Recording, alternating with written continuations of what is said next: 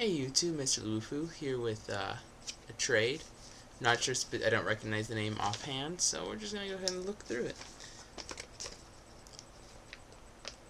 I'll probably recognize it at some point.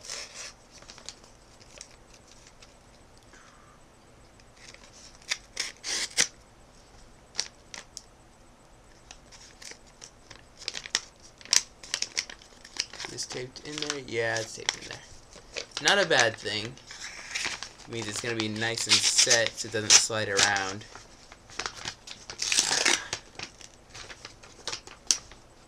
Ooh, used lots of like packaging tape. That's that's that's great. Yeah, that was never moving ever again. Well, okay.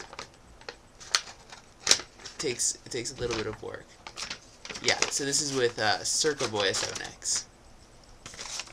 He, uh, yeah, he abbreviated his name on the envelope. Uh, so the trade was for my Ratchet Bomb.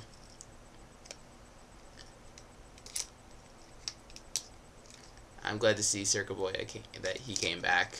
Um, he's always a great trader before, and certain he is now.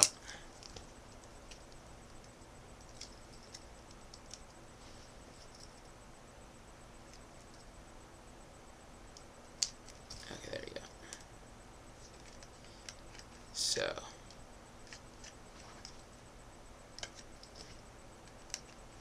The trade was for, well, we got assigned land. And uh, it was it was a very small trade, but I wanted this Fact or Fiction for EDH. Having a lot of fun playing EDH recently. Just playing around with a few people. And he also sent some extras.